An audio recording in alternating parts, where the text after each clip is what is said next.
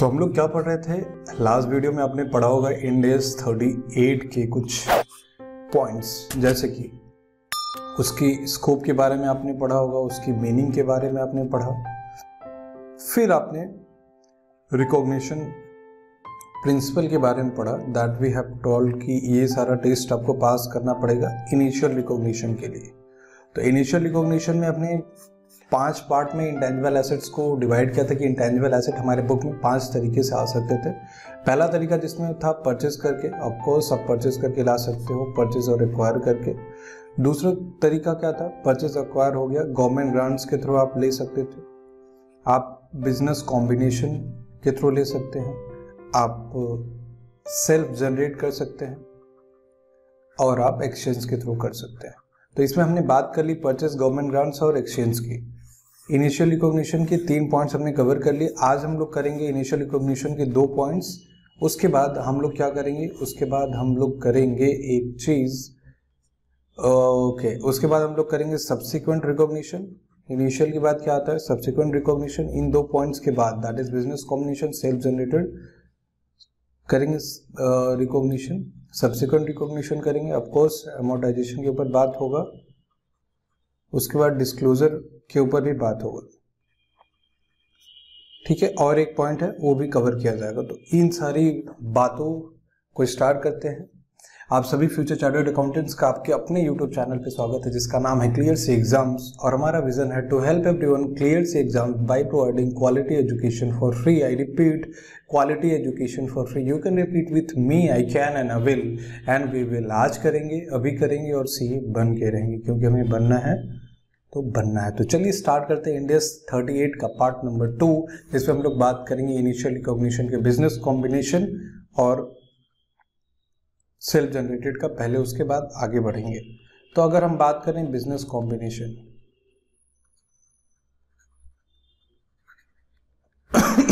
Sorry suppose करिए ये company है और ये एक कंपनी है। ये है पी लिमिटेड और ये है क्यू लिमिटेड ठीक है? सपोज़ करिए पी लिमिटेड अक्वायर कर रही है क्यू लिमिटेड का। तो इस समय क्या होगा? क्या इसके बुक्स में जो एसेट हैं, वो क्या वो इंटेंजिबल एसेट्स है, क्या ये रिकॉर्ड करेगा? जी हाँ रिकॉर्ड करेगा एट फेयर वैल्यू क्या इसके यहाँ जो रिसर्च एंड डेवलपमेंट होके रखी है, वो रिकॉर्ड करेगा ये? जी हाँ ये रिकॉर्ड करेगा। तो इसमें क्या क्या पॉइंट्स हम लोग डिस्कस करेंगे? आइए एक एक करके हम बात करते हैं कि जब एक एंटिटी दूसरे एंटिटी को अक्वायर करता है तो क्या क्या चीज़ों को ध्यान रखना चाहिए? या फिर क्या क्या चीज़ें हमें समझनी चाहिए। पहली चीज़। गुडविल। जैसे कि आपने पढ़ा होगा पहले भी, मर्जर में अमलगमेशन में तो जो आता है परचेज कंसिडरेशन के अलावा नेट नेट एसेट और परचेज कंसिडरेशन के डिफरेंस को गुडविल में ट्रांसफ़र करते हैं। तो गुडविल विल बी रिकॉग्नाइज बिल्कुल, गुडविल को रिकॉग्नाइज किया जाएगा।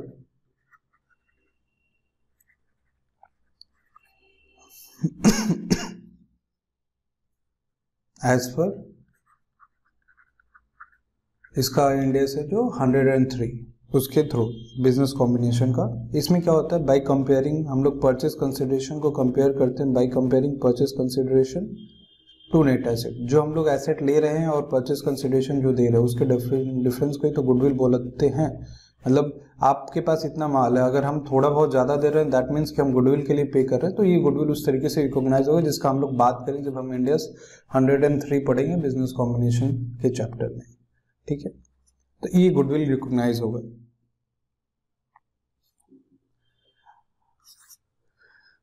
इंटेंजिबल एसेट जो अक्वायर होगा सपोज़ करिए आप इंटेंजिबल एसेट उसके बुक्स का एक्वायर कर रहे हो, अगर वो उसमें एक कंडीशन है कि उसको definition of intangible asset qualify करना पड़ेगा। डेफिनेशन ऑफ़ इंटेंजिबल एसेट उसको क्वालिफाई करना ही पड़ेगा। अगर नहीं करेगा तो फिर नहीं होगा। अगर करेगा तो उसको हम लोग रिकॉर्ड करेंगे फेयर वैल्यू उस दिन की। मतलब आप जब कोई एसेट दूसरे कंपनी से अक्वायर करते हो that you need to check you intangible asset है भी या नहीं। मतलब उसके बुक में था या नहीं, वो डजेंट मेक अ सेंस आप अपनी बुक में जब रिकॉर्ड करो तो उसकी मीनिंग को चेक करो कि definition of intangible asset qualify कर रहा है या नहीं। क्या ऐसा हो सकता है कि आपके बुक में इंटेंजिबल उसके बुक में कोई इंटेंजिबल एसेट शो नहीं कर रहा हो, या फिर उसने कोई इंटेंजिबल एसेट नॉट रिकॉर्डेड उसने अपनी बुक में कोई भी इंटेंजिबल एसेट है, फिर भी रिकॉर्ड नहीं किया तो क्या आप अपने बुक में रिकॉर्ड कर सकते हैं? जी हम बिल्कुल आप रिकॉर्ड कर सकते हैं। ठीक है? वही आपका फेयर वैल्यू पे रिकॉर्ड होगा ये भी। कहने का मतलब उसने रिकॉर्ड नहीं किया डजेंट मेक अ सेंस कि आप भी रिकॉर्ड नहीं करेंगे। आपको लग रहा है कि कोई इंटेंजिबल एसेट है तो आप उसको रिकॉर्ड कर सकते हैं फेयर वैल्यू पे। एक पॉइंट बहुत इंपॉर्टेंट है यहाँ पे रिसर्च सपोज़ करिए, आपकी जो जो कंपनी आप एक्वायर कर तो उसने बहुत सारी रिसर्च करके रखी हुई है। तो क्या वो, आप उसको जब एक्वायर करोगे तो उसको क्या कैपिटलाइज करोगे? जी हाँ रिसर्च को आप इंटेंजिबल एसेट की तरह एक्वायर करोगे। ठीक है? एंड ये रिकॉर्ड होगा फेयर वैल्यू पे। कहने का मतलब ये है कि सपोज़ करो एक ऑर्गेनाइजेशन में रिसर्च चल रहा है। That is also an intangible asset आपके लिए देखा जाए तो वो इंटेंजिबल एसेट आप एक्सपेंस में उस रिसर्च को तो आप एक्सपेंस बुक नहीं कर सकते। लेकिन जो चीज़ें आएँगी रिसर्च की, जो नॉलेज है, जो उसका एम्प्लॉय आएगा रिसर्च किया हुआ नॉलेज किया हुआ, कोई पेटेंट के लिए अप्लाई किया हुआ तो वो सारी चीज़ें आप इंटेंजिबल एसेट की तरह रिकॉर्ड करेंगे एट फेयर वैल्यू लेकिन उसके बाद आपके ऑर्गेनाइजेशन में जो एक्सपेंसेस होंगे, वो कैपिटलाइज नहीं होंगे। समझ रहे ये कैपिटलाइज नहीं होगा। आपके बुक में उसके बाद आने वाली जो भी खर्चे हैं, उसको आप कैपिटलाइज नहीं करोगे। तो आई रिपीट रिसर्च उसका किया हुआ, उसके बुक में, वो जब आपके बुक में आएगा तो उसको आप कैपिटलाइज कर सकते हैं, लेकिन जब फर्दर एक्सपेंसेस होगा तो आप उसको कैपिटलाइज नहीं करेंगे that will be booked in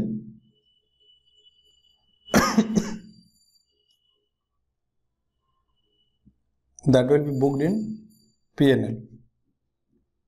Okay.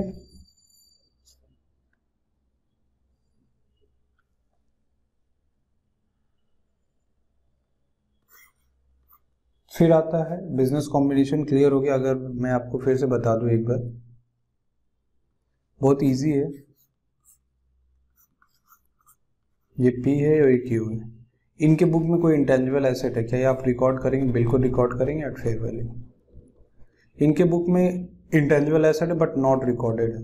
क्या आप इसको रिकॉर्ड करेंगे? जी हाँ रिकॉर्ड कर सकते हैं आप एट द फेयर वैल्यू इन्होंने कुछ रिसर्च करके रखा हुआ है। क्या आप इसको कैपिटलाइज करेंगे रिकॉर्ड करेंगे? जी हाँ एट फेयर वैल्यू बट उसके बाद जो खर्चा होगा, वो नॉट कैपिटलाइज होगा।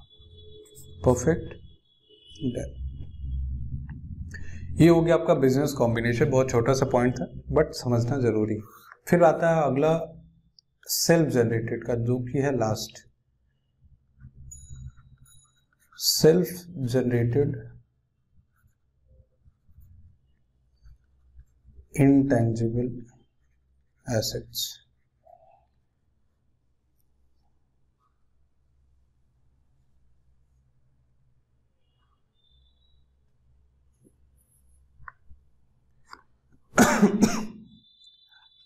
आपने क्या सेल्फ जनरेट किया? सपोज़ करिए आपने अपना ब्रांड जनरेट किया। जैसे टाटा का ब्रांड है। आपने कोई मास्टर हेड मास्टर हेड क्या है बॉस मास्टर हेड टाइटल जैसे कि पेपर का टाइटल होता है Times of India the Hindu the Hindustan Times तो ये सारे क्या हो गए? टाइटल गुडविल आप सेल्फ जनरेट किए। आपके ऑर्गेनाइजेशन की गुडविल है भाई, आपकी मिठाई की दुकान है। आपके यहाँ से ही बहुत फ़ेमस है, आपका गुडविल बहुत तगड़ा कि भाई उनके यहाँ से लाओ मिठाई, एकदम अच्छा फ्रेश ताज़ा और लजीज होगा। तो इन सारी चीज़ों को आपने सेल्फ जनरेट किया क्या आपके बुक्स में रिकॉर्ड हो सकता है answer is no oh my God आप तो हो गए दुखी कि भाई साहब, मेरा खुद का चीज़ नहीं रिकॉर्ड हो रहा। है जी हाँ self generated intangible assets record नहीं होते। ये सारे brand master titles goodwill okay क्यों नहीं होते? क्योंकि रिकॉग्निशन प्रिंसिपल जो है वो क्वालिफाई नहीं करते। पहला रिकॉग्निशन प्रिंसिपल क्या था? फ्यूचर इकोनॉमिक बेनिफिट वो तो ठीक है, लेकिन इसका कॉस्ट रिलायबली मेजर्ड हो सकता है। आंसर इज़ गुडविल का क्या कॉस्ट है? मास्टर का क्या कॉस्ट है? ब्रांड का क्या कॉस्ट है? कॉस्ट आप इसका मेजर नहीं कर सकते तो इसलिए ये रिकॉग्निशन प्रिंसिपल फेल कर देता है। Recognition principle and that is test two अगर टेस्ट टू फेल कर गया ये तो इसको आप रिकॉर्ड नहीं कर सकते। फिर आगे बढ़ते हैं। और अदर जो हैं other other self generated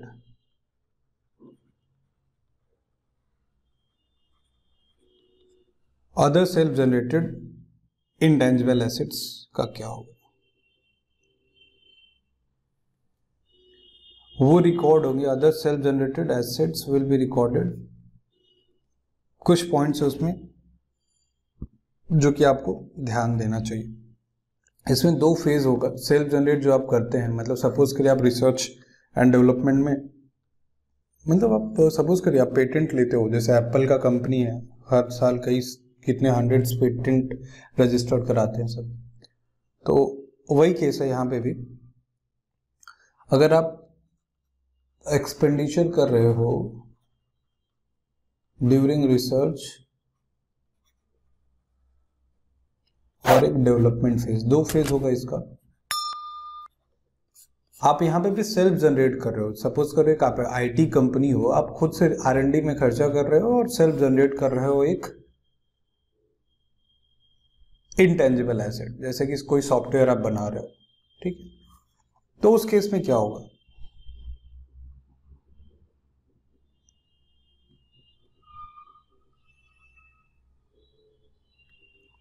पहला, पहले कॉन्सेप्ट की बात करते हैं expense during research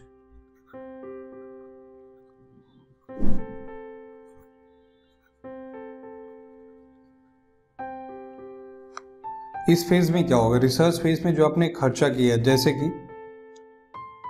gaining knowledge research करें तो आपने नॉलेज गेन किया।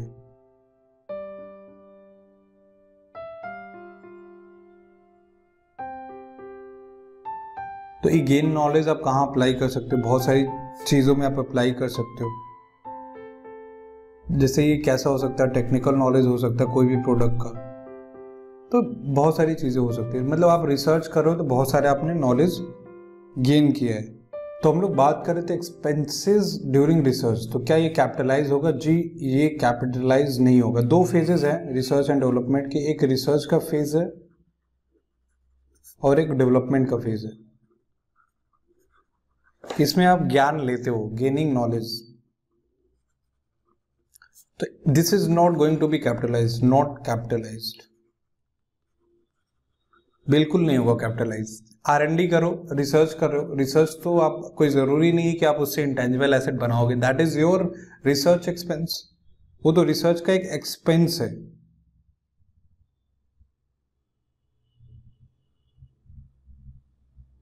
तो ये खर्चा कभी भी कैपिटलाइज नहीं होगा, कभी भी कैपिटलाइज नहीं होगा। और जो डेवलपमेंट का एक्सपेंस है, ये कैपिटलाइज होगा।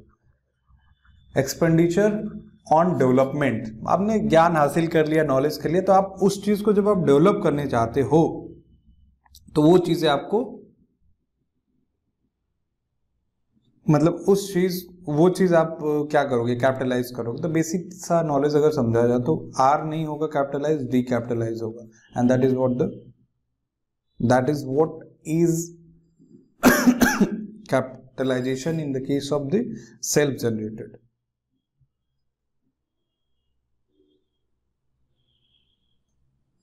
कुछ इसमें आपको बात याद रखनी रे, रे, रखनी चाहिए कि जब ये फॉलोइंग कंडीशन सेटिस्फाइड होंगे तभी वो कंसिडर किया जाएगा कि डेवलपमेंट फ़ेज़ में। आप बोलो ना डेवलपमेंट में कैपिटलाइज होगा लेकिन आप कैसे मानोगे कि वो डेवलपमेंट में है? हाउ यू विल अज्यूम कि रिसर्च नहीं है डेवलपमेंट है? तो following conditions are to be satisfied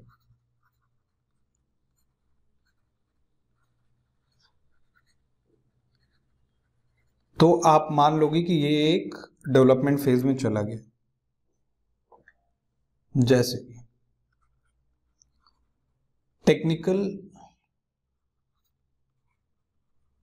feasibility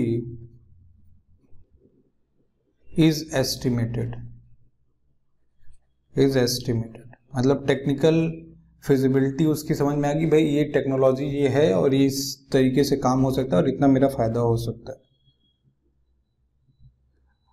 intention to complete such intangible asset. आपकी पूरी इंटेंशन है कि आप इसको इंटेंजिबल एसेट बना के रहोगे। कोई सॉफ्टवेयर आप बना रहे हो तो आपकी पूरी इंटेंशन कि भाई ये कंप्लीट करना है तो करना है।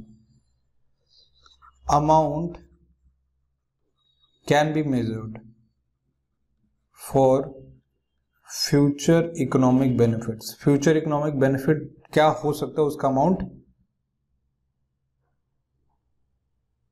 मेजर किया जा सकता है? और वो पॉसिबिलिटी भी होनी चाहिए possibility of future economic benefits from such intangible asset उससे आपको पॉसिबिलिटी लगे कि हमको इस, बना के कोई फ़ायदा होना चाहिए। मतलब क्या ना, बना रहे हो बिना फ़ायदे के लिए बनाओगे तो that will not be capitalise कुछ फ्यूचर इकोनॉमिक बेनिफिट मिलना चाहिए। और वो आइडेंटिफिएबल होना चाहिए। ऐसा मत बना देना कि कहीं बेच भी ना पाओ। मतलब सेल कर सकते हो उसको। So technical feasibility intention to complete amount can be measured possibility of F E B और आइडेंटिफिएबल ये दो चीज़ तो आपको समझ में पहले से याद कैपेबल ऑफ़ सेल होना चाहिए और एफ़ ई बी होना चाहिए। टेक्निकल फिजिबिलिटी टेक्निकल फिजिबिलिटी हो कि भाई ये कहाँ यूज़ हो सकता है, कहाँ नहीं हो सकता है और इंटेंशन टू कम्पीट हो, ऐसा नहीं कि आधा अधूरा छोड़ के चले जाए। मतलब आपकी कंपनी अगर उस पर काम कर रही है तो उसको पूरा करना चाहिए। अगर इसमें से कोई एक भी कंडीशन पिट गई so that will be research आपका फ्यूचर इकोनॉमिक बेनिफिट आप एस्टिमेट नहीं कर पा रहे हो। कोई फ्लो नहीं है फ्यूचर इकोनॉमिक बेनिफिट का। आइडेंटिफिएबल नहीं है या फिर वो टेक्निकल फिजिबिलिटी उसकी नहीं है इंटेंशन टू कंप्लीट नहीं है तो that will be research not the development development होने के लिए आपको इन सारी कंडीशंस को सेटिस्फाई करना पड़ेगा. That is technical feasibility intention to complete such intangible assets amount can be measured for future economic benefit possibility of F is identifiable that means sale किया जा सकता है कैपेबल फॉर सेल तो following condition आप satisfy करो research कर रहे हो कोई दिक्कत नहीं, आराम से करो भाई साहब। हम कैसे मान लेंगे कि अब डेवलपमेंट में चला गया? ये पाँच कंडीशन जब आपको लगे कि सेटिस्फाइड हो रहा है तो आप समझ लो कि डेवलपमेंट फ़ेज़ में आ गया। और डेवलपमेंट फ़ेज़ में आते ही उसको कैपिटलाइज कर लेना। कुछ एक्सपेंसेस ऐसे हैं जो आपको कैपिटलाइज नहीं करना है although it is in what development phase in development phase हो आप मतलब ये कंडीशन आप सेटिस्फाई कर रहे हो। डेवलपमेंट फ़ेज़ में हो, फिर भी कुछ एक्सपेंसेस हैं। Expenses not to be capitalise as always कुछ चीज़ें आपको कॉमन मिलेंगी। जनरल एडमिन एक्सपेंसेस और allocated overhead abnormal loss as always हमेशा आपको मिलेगा कि कहीं पे भी कैपिटलाइज होता है, आपको दिखेगा नहीं। स्टाफ ट्रेनिंग आप स्टाफ को नॉलेज दे रहे हो, ज्ञान दे रहे हो ट्रेनिंग दे रहे हो कि ऐसे ऐसे काम करो that will not be capitalise advertisement कहीं पे भी कैपिटलाइज नहीं होगा तो यहाँ पे कैसे होगा? Marketing expense and selling expense ये सारे एक्सपेंसेस आप कैपिटलाइज नहीं करोगे even it is in development phase आप एडवर्टाइजमेंट करोगे, भाई, मैंने ये बना दिया, वो बना दिया सेल कर रहे हो सेलिंग एक्सपेंस लगा रहे हो। General administration allocated overhead normal और स्टाफ ट्रेनिंग ये सारी चीज़ें अगर डेवलपमेंट फ़ेज़ में रहेंगी तो भी आप कैपिटलाइज नहीं कर सकते। Are you getting my point I hope you are show what So we will move to the next part, that is what is termed as subsequent recognition. कैसे होगा? ये एज इट इज़ सेम है जो हमने subsequent recognition पढ़ा हुआ था intangible asset 16 में आई एम सॉरी इंडिया 16 में दैट इज़ टेंजिबल एसेट अगर आप चाहो तो मैं फिर से बता देता हूँ। जी, आप तो चाहोगे फिर भी मैं एक बार वही पूरी चीज़ रिपीट कर देते हैं अपने। आई होप कितने लोग ये भी होंगे जो पुराना वीडियो नहीं देखे होंगे। तो उनके लिए ये हेल्पफुल हो जाएगा। दो मेथड दो मेथड है यहाँ पे। एक cost model that is conventional one और एक रिवैल्यूएशन ये रिवैल्यूएशन जब होगा तो लगता है। कॉस्ट मॉडल में कैसे हम लोग रिकॉग्नाइज करते हैं सब्सिक्वेंटली कॉस्ट मॉडल क्या बोलता है? कॉस्ट मॉडल में हम लोग बोलेंगे कॉस्ट पे लेस एक्यूमुलेटेड अमोटाइजेशन यहाँ पर डेप्रिसिएशन नहीं आएगा, और accumulated impairment loss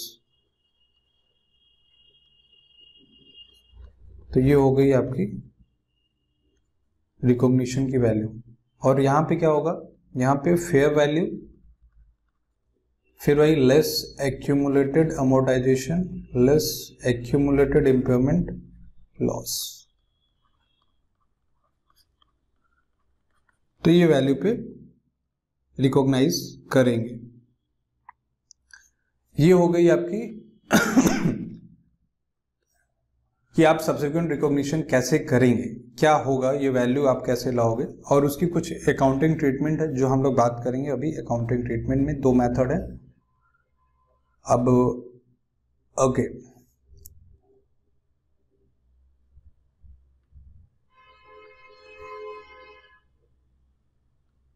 accounting treatment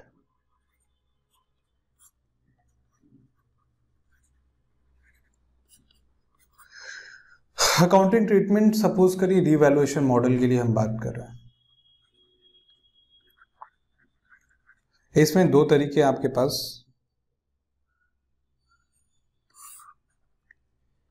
एक है प्रोपोर्शनेट मेथड ये सारा आपको बढ़ाया हुआ है और एक है नेट मेथड प्रोपोर्शनेट में आप क्या करते हो? ग्रॉस ब्लॉक और एक्यूमुलेटेड डेप्रिसिएशन को वहाँ करते थे। यहाँ पे क्या करेंगे? Gross block gross fair value यहाँ पे ग्रॉस फेयर वैल्यू और अमोर्टाइजेशन एक्यूमुलेटेड अमोर्टाइजेशन को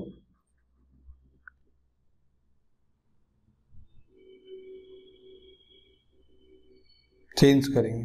Pro rata pro rata basis पे इसको चेंज कर देंगे अगर रिवैल्यूएशन हुआ तो। वहाँ पे क्या करते थे? Gross fair value gross block और एक्यूमुलेट डेप्रिसिएशन को करते थे। यहाँ पे ग्रॉस फेयर वैल्यू और एक्यूमुलेटेड अमोर्टाइजेशन को चेंज किया जाएगा फेयर वैल्यू के हिसाब से प्रोराटा बेसिस पे। नेट मेथड में क्या करते हैं? कैंसिल कर देते हैं हम लोग एक्यूमुलेटेड डेप्रिसिएशन को। और कॉस्ट ऑफ़ एसेट को रिवैल्यू कर देते हैं। कॉस्ट ऑफ़ एसेट को इंक्रीज और डिक्रीज करते हैं।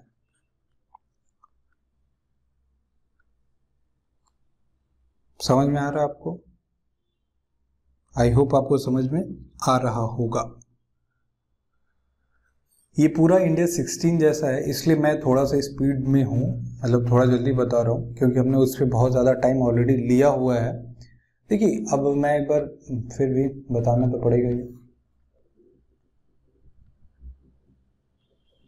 और सपोज़ करिए एग्जिस्टिंग वैल्यू है आपकी, और ये न्यू वैल्यू है। ये आपका ग्रॉस ब्लॉक है। ये आपका एक्यूमलेटेड अमोर्टाइजेशन है से और ये नाइन्टी थाउज़ेंड आपने क्या किया? इसको रीवैल्यू कर दिया सपोज़ करिए दो लाख पे। तो अब ये जो वैल्यू होगी, ये प्रो राटा बेसिस इसका डिफरेंस निकाल के ये परसेंटेज के हिसाब से यहाँ पे इंक्रीज हो जाएगा। से अगर यहाँ पे परसेंटेज इंक्रीज हो गया तो ये सपोज़ करिए ढाई लाख रुपया हो गया।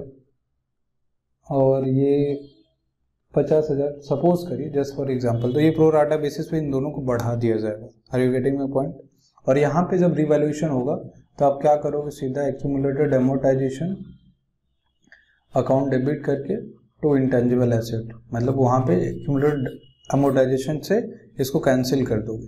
ठीक है? फिर इन, अगर इंक्रीज हुआ तो इंटेंजिबल एसेट अकाउंट डेबिट करके टू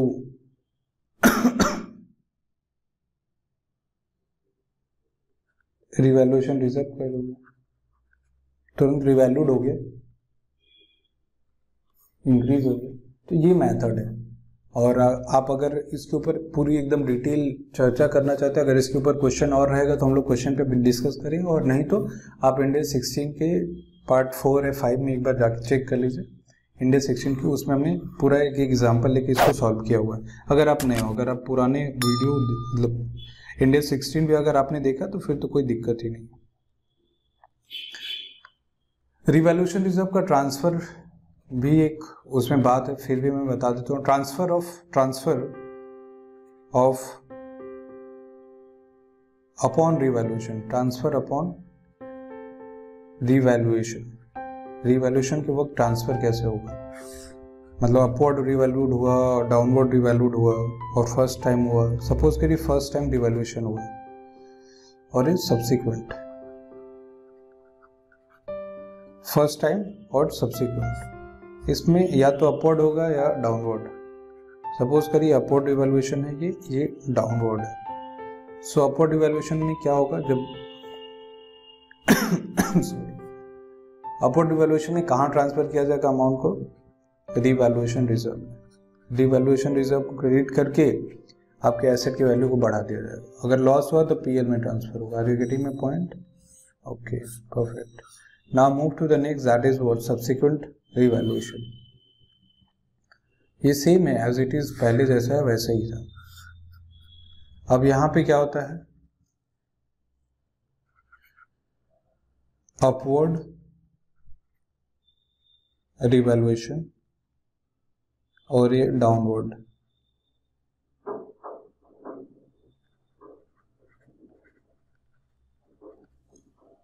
सपोज़ करी अर्लियर जो मतलब पहले भी हुआ था तो अपवर्ड डिवेल्यूशन हुआ था और ये अर्लियर क्या हुआ था? डाउनवर्ड डिवेल्यूशन मतलब पहले भी ये अपवर्ड डिवेल्यूड हुआ था, ये पहले भी डाउनवर्ड डिवेल्यूड हुआ था. अब इसमें दो केस हो जाएँगे. इसमें समझ करी अगेन अगर अपवर्ड डिवेल्यूड हो गया, या फिर डाउनवर्ड हो गया। इसमें भी दो चीज़ हो सकती है। अगेन डाउनवर्ड होगा। मतलब गिरा था, पहले भी, अभी भी गिर गया। या फिर यहाँ पे अपवर्ड हो गया। मैं एक बार सिचुएशन को अगर आपको समझाऊं, बहुत ही इजी सिचुएशन है। देखिए ट्रांसफ़र अपॉन रिवैल्यूशन रिवैल्यूशन हुआ तो अगर आपकी एसेट की वैल्यू बढ़ गई तो रिवैल्यूशन रिज़र्व में क्रेडिट हो जाएगा और एसेट बढ़ जाएगा। अगर डाउनलोड हुआ तो पीएल से एडजस्ट होकर पीएल में एक्सपेंस बुक हो जाएगा, ठीक है? उसके बाद अगर ये सिनारियो रहा अपवर्ड और डाउनवर्ड आपको पता चल गया कि पहली बार अपवर्ड या पहली बार डाउनवर्ड होगा तो क्या होगा? लेकिन अगली बार जब फिर से सब्सिक्वेंट रिवैल्यूएशन हुआ तो सपोज़ करिए कि हम पहले भी अपवर्ड किया था, फिर से अपवर्ड हो रहा है। अगर पहले भी डाउनवर्ड किया हुआ था, फिर से डाउनवर्ड हो रहा है। तो उस केस में अब क्या होगा? अगर अगेन फिर से अपवर्ड हो गया या डाउनवर्ड हो गया, या फिर से डाउनवर्ड हो गया, या अपवर्ड हो गया। तो इस केस में क्या होगा? कहाँ ट्रांसफ़र होगा? तो अगर पहले से भी अपवर्ड हुआ है, फिर अपवर्ड हुआ है तो रिवैल्यूएशन रिज़र्व में फिर से डालेंगे और वो एसेट की वैल्यू को इंक्रीज करेंगे।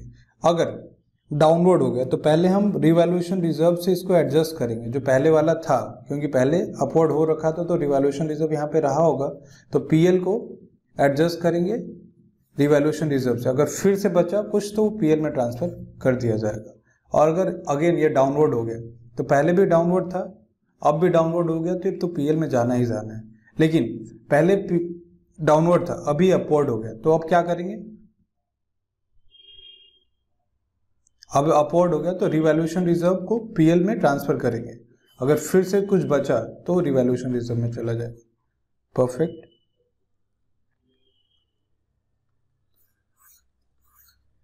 एक बार मैं समरी बना देता हूँ। बहुत ज़्यादा अपवर्ड डाउनवर्ड हो गया अपवर्ड का मतलब रिवैल्यूएशन रिज़र्व डाउनवर्ड का मतलब पीए बात खत्म पहला केस अगर फिर से अगर अपवर्ड होता है तो रिवैल्यूएशन रिज़र्व में ही जाएगा। अगर फिर से डाउनवर्ड होता है तो रिवैल्यूएशन रिज़र्व में नहीं जाएगा। आई रिपीट आई मीन फिर से अगर डाउनवर्ड होता है तो पीएल में नहीं जाएगा पहले।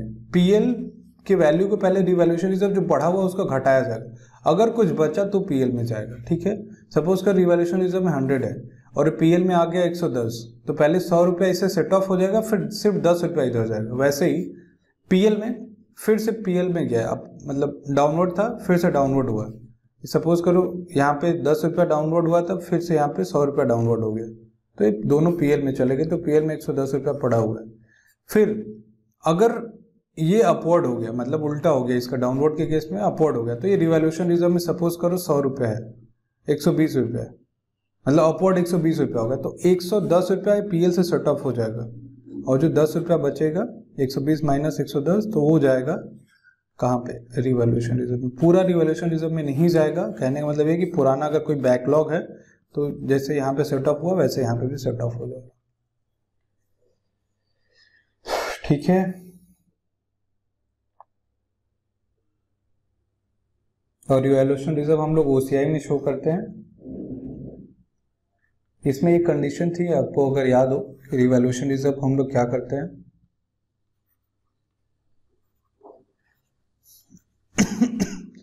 रिवैल्यूएशन रिज़र्व पहली बात तो ये ओसीआई में आता है पीएल में statement of profit and loss इसको अपॉन सेल सेल के वक्त इसको हम लोग रिटेन अर्निंग में ट्रांसफ़र कर देते हैं। Upon sale it is transfer to retain earning retain earning में इसको ट्रांसफ़र कर दिया जाता है।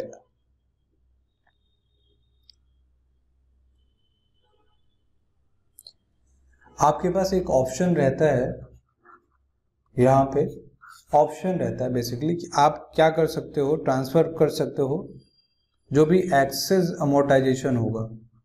एक्सेस अमोटाइजेशन को आप रिवैल्यूएशन रिज़र्व से निकाल के रिटेन अर्निंग में ट्रांसफ़र कर सकते हो ईच ईयर कहने का मतलब ये है कि जब आप रीवैल्यू करते हो तो आपकी फेयर वैल्यू बढ़ जाती है और उसके साथ साथ आपका अमोटाइजेशन भी बढ़ जाता है। सो so, उससे क्या होता है? रिवॉल्यूशन रिज़र्व भी बढ़ता है। तो यहाँ से आप निकाल के रिवॉल्यूशन रिज़र्व से इसको ट्रांसफ़र कर सकते हो। रिटेनरिंग में ये ऑप्शन रहता है आपके पास जनरली ये हमने पहले भी बात किया हुआ है। तो कहने का मतलब ये है कि आप सेल हुआ तो रिटर्न अर्निंग में ट्रांसफ़र कर दो। और एक ऑप्शन आपके पास रहता है कि भाई देखो एक्सेस एमोटाइजेशन हो गया है। एक्सेस एमोटाइजेशन को आप ट्रांसफ़र कर सकते हो रिवॉल्यूशन रिज़र्व से रिटर्न अर्निंग ठीक है?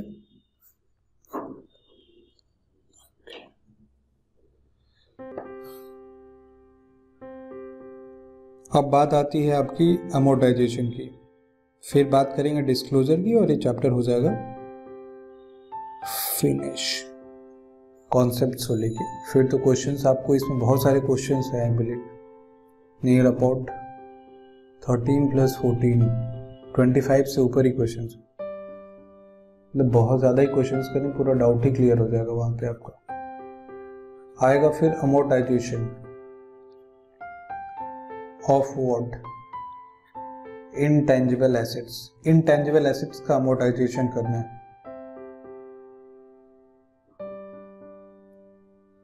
तो चलिए एक एक करके देखते हैं।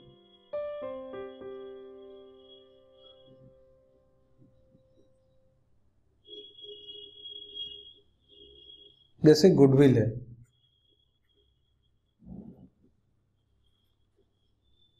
इसके पास क्या डेफिनेट लाइफ है कि हम एस बेसिस लगा पाएँगे? नहीं। तो यहाँ पे हम लोग इम्पेयरमेंट के लिए हर साल चेक करते हैं। यहाँ पे कॉन्सेप्ट आता है इम्पेयरमेंट ईच ईयर गुडविल के केस में इसकी लाइफ जो होती है does not have a different life तो ये हमेशा इम्पेयरमेंट के लिए देखा जाएगा कि या इम्पेयरमेंट हो सकता है या नहीं हो सकता है इसका। ठीक है? फिर गुडविल के अलावा ऑल अदर जो इंटेंजिबल एसेट्स होते हैं, जिनके पास इनडेफिनिट लाइफ है मतलब इनकी भी लाइफ कोई फिक्स नहीं है, ये भी अमोटाइज नहीं होंगे। तो गुडविल भी अमोटाइज नहीं होगा और जिसके पास इनडेफिनेट लाइफ है डेफिनेट लाइफ नहीं है, ठीक है? तो वो अमोटाइज नहीं होंगे और ये इम्पेयरमेंट के लिए चेक होंगे हमेशा कि कोई इनकी वैल्यू में इम्पेयरमेंट तो नहीं आ गया तो इनकी वैल्यू डिक्रीज तो नहीं होगी तो इम्पेयर कर देंगे। अगर किसी की डेफिनेट लाइफ है तो उसमें क्या होगा?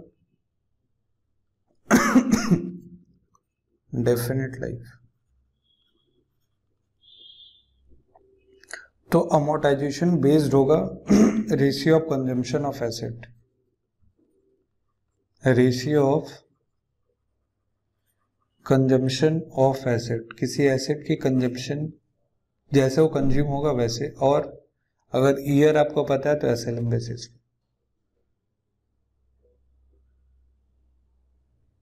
ratio of consumption यहाँ पे लिखा हुआ है। रेशियो ऑफ़ रेवेन्यू यहाँ पे कंसिडर नहीं किया गया। आई रिपीट ये रेशियो ऑफ़ रेवेन्यू नहीं।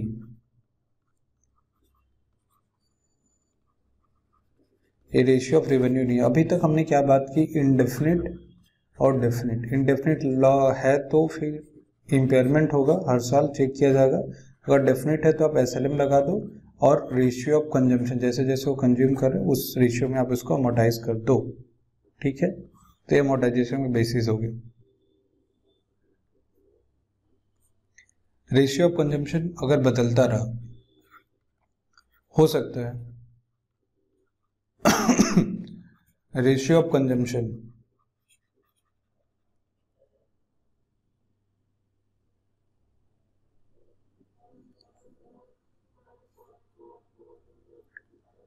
सपोज़ करी मैंने कंज्यूम एज्यूम किया कि हम इतना इतना इतना एक साल में मतलब इस साल हमने एज्यूम किया कि हम इतना इतना कंज्यूम करेंगे।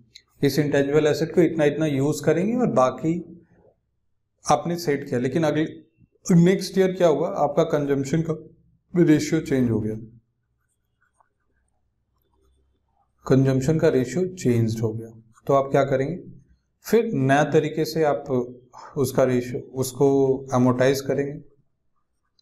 अमोटाइज आप करेंगे न्यू रेशियो से। और उसका जो इफ़ेक्ट होगा वो करंट पीरियड में करंट पीरियड में डाल देंगे। जैसे प्रीवियस ईयर में ज़्यादा अमोटाइज करना था तो इस साल ज़्यादा मतलब करंट पीरियड का और भी बढ़ा देंगे। अगर कम करना था तो इस पीरियड का घटा देंगे। मतलब उसका इफ़ेक्ट इस साल मतलब करंट पीरियड में डाल देंगे। मतलब अमोटाइजेशन आप कर रहे हो और रेशियो चेंज हो गया। तो आपको रिवाइज एस्टिमेट के हिसाब से उसको एडजस्ट करना पड़ेगा करंट पीरियड में। तो क्या अगर तो यहाँ पे दो मेथड है ना एसएलएम और रेशियो ऑफ़ कंजम्पशन ये रेशियो के केस में भी एस के केस में भी हो सकता है और ratio consumption ratio of consumption के केस में भी हो सकता है। और अगर इसमें कोई चेंज होता है that will be change in estimate इसको माना जाएगा चेंज इन एस्टिमेट है not change in accounting policy ये नहीं है, ठीक है? तो बेसिकली अमोटाइजेशन को अगर कंक्लूड किया जाए तो इसमें कुछ ज़्यादा है नहीं।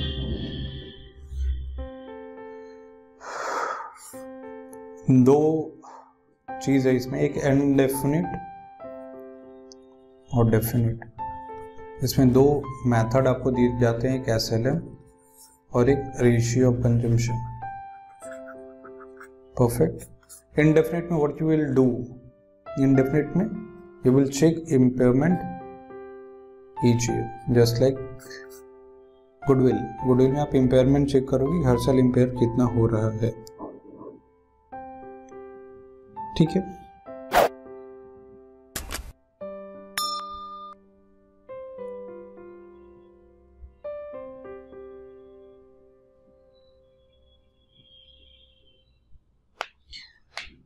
तो ये हो गया आपका अमोटाइजेशन कॉस्ट अमोटाइजेशन का concept ratio of consumption change हो सकता है और एसएलएम का भी यूजफुल लाइफ चेंज हो सकता है तो इस केस में हम लोग रिवाइज एस्टिमेट से उसको करेंगे और करेंट पीरियड में उसका इम्पैक्ट भी डालेंगे, अगर कोई भी कम बेसी हुआ है तो। फिर अगला कॉन्सेप्ट आता है अपना डिस्क्लोजर का, लेकिन उसके पहले एक और कॉन्सेप्ट है जो कि ज़्यादा रेलोड नहीं है, फिर भी बता देना ज़रूरी है। That is service commission agreement government का सर्विस कमीशन एग्रीमेंट आपको पता होगा। जैसे जो भी रोड्स बनते हैं, वो टोल जो आपसे लिया जाता है that is all about the service commission agreement इसको क्या बोलते हैं? Public private partnership public private partnership और बोल्ड बोल्ड क्या होता है? Build own lease transfer build own lease transfer अब इसका एग्जांपल अगर आपको हम बताएँ तो दैट इज़ टोल रोड्स जो टोल रोड्स बनते हैं मतलब रोड्स जो बनते हैं, आपसे हर जगह टोल लिया जाता है टोल लिया जाता है। एयरपोर्ट्स एट्सेट्रा मतलब होता क्या है बेसिकली आप गवर्नमेंट हो, आपने क्या किया? एक प्राइवेट पार्टनरशिप कर लिया अपने किसी और के साथ। बोला कि भाई तुम रोड बनाओ। चालीस साल तक टोल ले लो। जब आप मतलब टोल फ़ीस कलेक्ट करो, जितना में आपका कॉस्ट निकल जाए। तो प्राइवेट पार्टनर बोला, ठीक है, हम अपना प्रॉफिट के साथ साथ जब मेरा कॉस्ट और प्रॉफिट निकल जाएगा फिर वो रोड को खाली कर देंगे मतलब टोल फ्री हो जाएगा वो रोड समझ रहे हो? कहने का मतलब ये है कि गवर्नमेंट को 2001 या 2000 ऐसे कुछ में आया था टोल रोड का कॉन्सेप्ट विदेशों में पहले से भी है। गवर्नमेंट जब भी रोड बनवाना, बनवाती है, ठीक है? तो वो क्या करती है? पब्लिक प्राइवेट पार्टनरशिप करती है पब्लिक प्राइवेट पार्टनरशिप जो जो बड़े बड़े प्रोजेक्ट रहते हैं गवर्नमेंट के पास उतना पैसा एक बार में आएगा थोड़ी ना। प्राइवेट पार्टनरशिप कर ली। वो प्राइवेट प्लेयर के साथ मिल के बना रही है और प्राइवेट प्लेयर का जो भी पैसा लगेगा बोलेगा भाई आप टोल रोड मतलब उसको टोल रोड बोला जाता है। टोल फ्री आप लीजिएगा। टोल चार्ज जो भी लगता है, उसमें जब आपका कॉस्ट और प्रॉफिट जो भी आपका निकल जाएगा जब तो टोल फ्री हो जाएगा रोड ठीक है? समझ रहे हो कौन सा जी। चलिए, आगे बढ़ते excuse me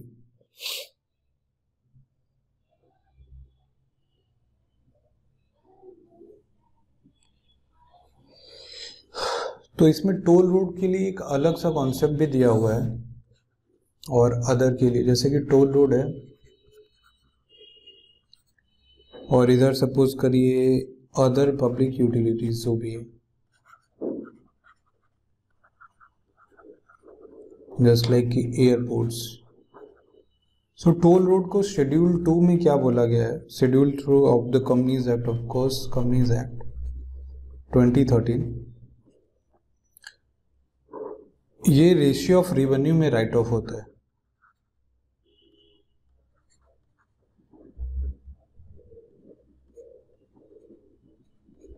ratio of revenue suppose करिए, मेरा कहने का मतलब सिर्फ़ इतना है कि जो भी प्राइवेट प्लेयर इसमें टोल फ़ीस कर कर रहा है तो उसकी कॉस्ट जो भी लगी, उसको हम लोग कैसे राइट ऑफ़ करेंगे, कैसे डिप्रिशिएट करेंगे? बोला, जितना जितना हम साल में कमाएँगे, उस हिसाब से राइट ऑफ़ करते जाएँगे, कभी कम तो कभी बेसी। सपोज़ करिए, इसका एक हज़ार करोड़ रुपया लगा हुआ है। जब ये एक हज़ार करोड़ सपोज़ करिए, एक साल में दस करोड़ कमाया तो दस करोड़ राइट ऑफ़ होगा, अभी भी नाइन नाइन्टी उसका बचा रहेगा, समझ में तो ये रेशियो ऑफ़ रेवेन्यू में ही राइट ऑफ़ होगा। ये इंपॉर्टेंट चीज़ है, ये एक्सेप्शन है या फिर स्पेशल चीज़ जिसको दिया हुआ है स्पेशल अलाउंस दिया हुआ है कि आप मतलब स्पेशल प्रेफरेंस दिया हुआ है गवर्नमेंट को मतलब गवर्नमेंट बढ़ावा देना चाहती है इसको इसलिए।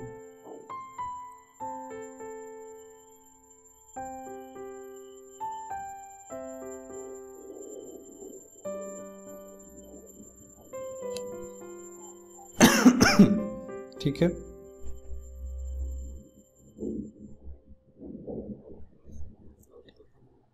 और ये रिकॉग्निशन इसका कैसे होगा?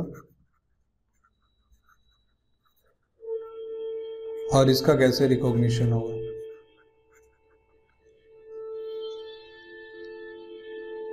और इसका अमोटाइजेशन कैसे होगा? तो हम लोग क्या पढ़ रहे हैं अभी? सर्विस कमीशन एग्रीमेंट जो कि एक स्पेशल केस है। उसमें हम लोग बात करें टोल रूट की और अदर पब्लिक यूटिलिटीज की, जो पब्लिक प्राइवेट पार्टनरशिप के थ्रू बनते हैं। इसको रिकॉग्नाइज करेंगे। Before date of transition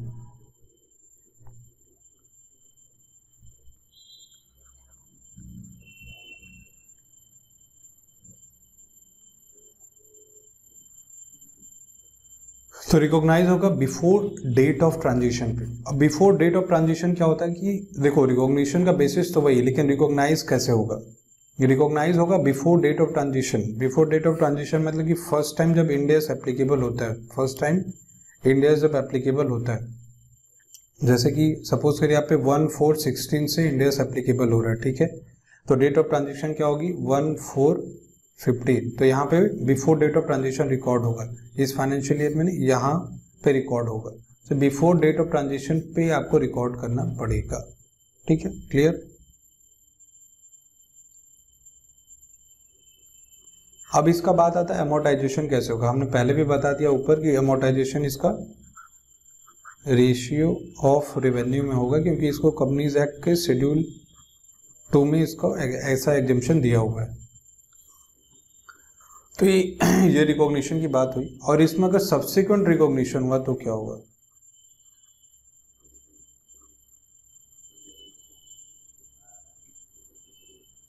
recognition वैसे ही होगा सब्सिक्वेंट रिकॉग्निशन लेकिन यहाँ पे अमोटाइजेशन कैसे होगा? यहाँ पे यूज़ करेंगे हम लोग रेशियो ऑफ़ कंजम्पशन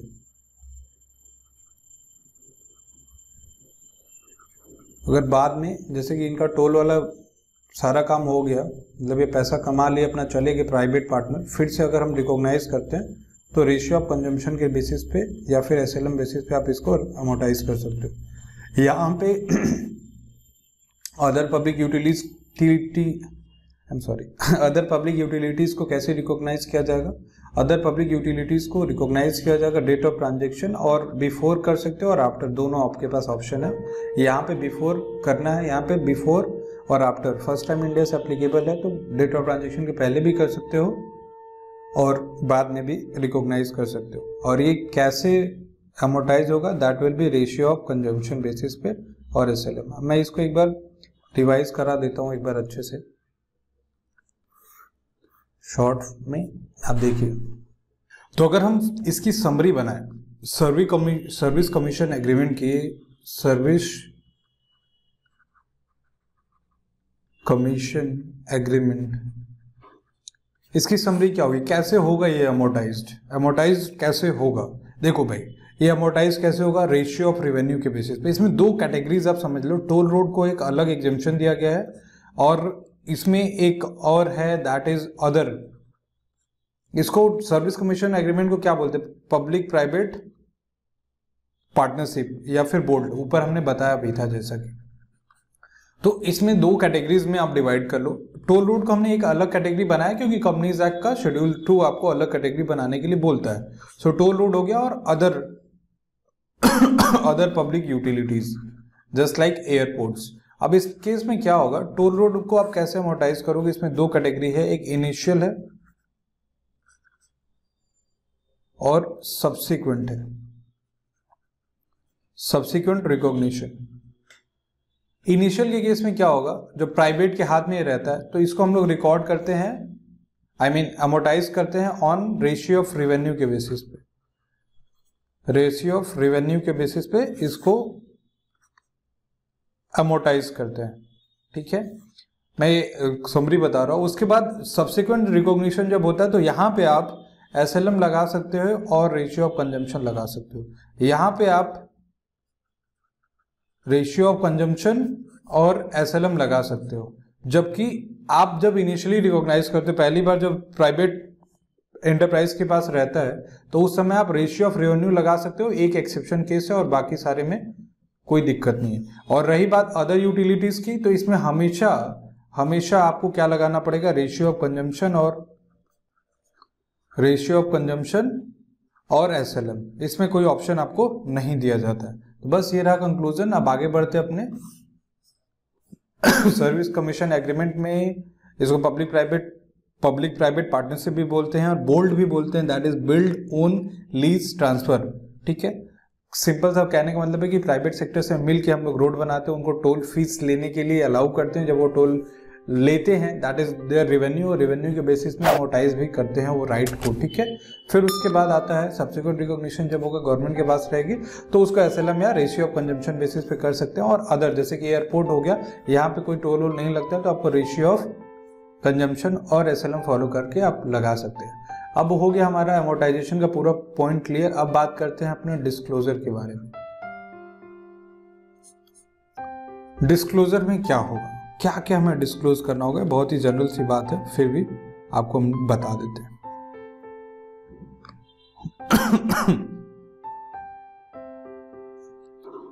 डिस्क्लोजर में हमें क्या क्या डिस्क्लोज करना पड़ेगा इंटेंजिबल एसेट में? उसकी कॉस्ट और फेयर वैल्यू उसमें होने वाले addition slash deletion if any closing cost closing cost और fair value opening accumulated depreciation और एमोटाइजेशन यहाँ पे होगा, और ड्यूरिंग दियर अमोटाइजेशन फिर क्लोजिंग अमोटाइजेशन सिंपल है, जैसा कि हमने टेंजिबल के केस में बताया था, वैसा ही एज इट इज़ है बट यहाँ पे यहाँ पे क्या है? यहाँ पे आपको अमोटाइजेशन लिखना होगा डेप्रिसिएशन नहीं लिखना होगा। तो ये हो गया amortisation closing accumulated accumulated amortisation फिर नेट वैल्यू ठीक है? अगर आपको याद हो तो मैं एक चार्ट बनवाया था टेंजिबल में। डिस्क्लोजर पर्पज के लिए नोट्स टू अकाउंट में हमने शेड्यूल थ्री में भी बात की थी। जैसे ये चार्ट हो जाएगा तो ऐसे यहाँ पे कॉलम वाइज बन जाएगा। जैसे कि यहाँ पे आपका आ जाएगा ओपनिंग वैल्यू क्या है? कॉस्ट जो कि हो गया। उसके बाद एडिशन डिलीशन फिर क्लोजिंग वैल्यू आ जाएगा। फिर opening accumulated depreciation depreciation accumulated amortisation आ गया। फिर ड्यूरिंग द ईयर एमोटाइजेशन हो गया। फिर क्लोजिंग एक्यूमुलेटेड अमोटाइजेशन हो गया, फिर लास्ट में नेट वैल्यू आ गई। तो ये हो जाएगा बेसिकली डिस्क्लोजर का फॉर्मेट ऐसे करके। जो जो भी इंटेंजिबल एसेट रहेगा यहाँ क्लास वाइज क्लियर है? फिर आपको क्या डिस्क्लोज करना पड़ेगा? लाइफ ऑफ़ इंटेंजिबल एसेट अगर डेफिनेट है तो लाइफ आपको बताना पड़ेगा and method applied method applied for amortisation जैसे कि रेशियो ऑफ़ कंजम्पशन और SLM और ratio of revenue in case of toll roads as the case may be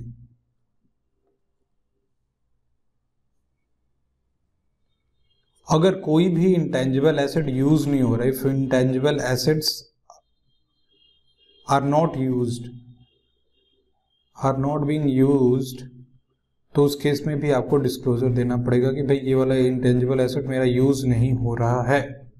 ठीक है?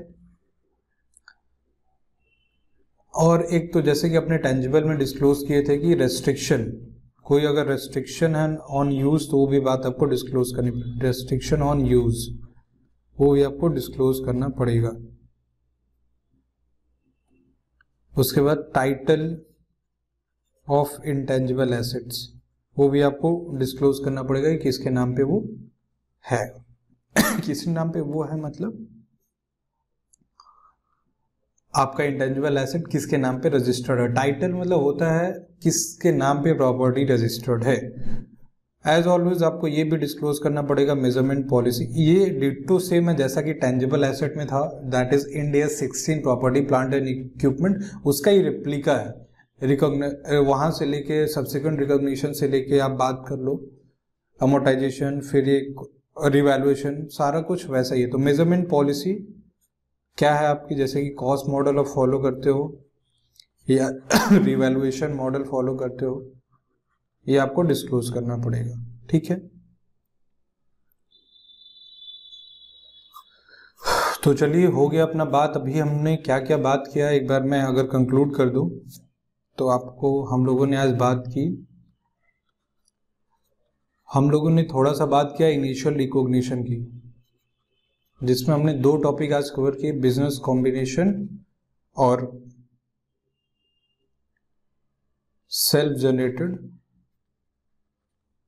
इंटेंजिबल एसेट फिर हमने बात किया सब्सिक्वेंट रिकॉग्निशन का, उसमें दो मॉडल था, एक कॉस्ट और एक रिवैल्यूएशन मॉडल रिवैल्यूएशन में प्रोपोर्शनेट मेथड था, एक नेट मेथड ठीक है?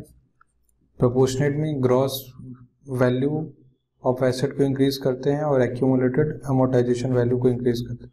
यहाँ पे एक्यूमुलेटेड अमोटाइजेशन से जो भी इंटेंजिबल एसेट है उसको राइट ऑफ़ करके इंटेंजिबल एसेट को इंक्रीज और डिक्रीज करते हैं रिवोल्यूशन रिज़र्व से। ये हमने बात किया। फिर हमने बात की अमोटाइजेशन की। अमोटाइजेशन में हमने दो बात की, एक डेफिनेट लाइफ जिसकी है और एक इनडेफिनेट लाइफ जिसकी। इनडेफिनेट लाइफ में क्या होगा? आपको चेक करना पड़ेगा इम्पेयरमेंट इंडेस 36 इम्पेयरमेंट चेक करना पड़ेगा। लेकिन जिसके पास डेफिनेट लाइफ है डेफिनेट लाइफ में क्या होगा? डेफिनेट लाइफ में आप एसएलएम लगा सकते हो या फिर रेशियो ऑफ़ कंजम्पशन एक में एक्सेप्शन है दैट इज़ टोल रोड वहाँ पे आप क्या लगा सकते हो? उसमें रेशियो ऑफ़ रेवेन्यू लगा सकते हो बिकॉज़ ए कंपनीज़ एक्ट इनको अलाउ करता है। एक केस अगर इसमें सब्सिक्वेंट रिकॉग्निशन होगा, तब आपको एसएलएम और रेशियो कंजम्पशन ही लगाना पड़ेगा। ठीक है? फिर हमने बात की। सॉरी हाँ फिर हमने बात की अभी डिस्क्लोजर की। तो डिस्क्लोजर में हमने बता ही दिया कि आपको क्या क्या डिस्क्लोज करना पड़ेगा। जैसे कॉस्ट हो गया ये रहा आपका डिस्क्लोजर की अभी हमने बात की cost fair value addition deletion closing cost fair value opening accumulated amortisation during the year amortisation closing accumulated amortisation और नेट वैल्यू ऐसे करके आपको डिस्क्लोजर देना पड़ेगा। तो बस ये रहा आपका इंडेस 38 का पूरा कॉन्सेप्ट क्लियर हो गया आपका। अब हम लोग बात करेंगे अगले वीडियो में इसके क्वेश्चंस की, जो कि डायरेक्टली होंगे आपके स्टडी मटेरियल से। फिर भी अगर आपको कोई डाउट है तो ज़रूर कमेंट सेक्शन में हमें बताइए और फिर हम लोग उसके ऊपर डिस्कशन करेंगे। अगर कोई डाउट रहा तो मैं खुद रिप्लाई करूँगा। और मिलते हैं आपसे अगली वीडियो में। और कोई भी अगर डाउट रहेगा तो we will discuss in the question and answer जैसे कि हमारे पास अभी more than twenty five question हैं स्टडी मटेरियल में। तो वो जब डिस्कस करेंगे तो एकदम और क्लियर हो जाएगा। अभी जो कॉन्सेप्ट अभी ड्राफ्ट अभी आपको माइंड में गया है, जब हम लोग क्वेश्चन आंसर करेंगे तो एकदम क्रिस्टल क्लियर हो जाएगा। तो मिलते हैं आपसे अगले वीडियो में, जिसमें हम लोग बात करेंगे। Question answer illustration direct from study material तब तक के लिए आप सभी का हमारे साथ जुड़ने के लिए शुक्रिया एंड बाय बाय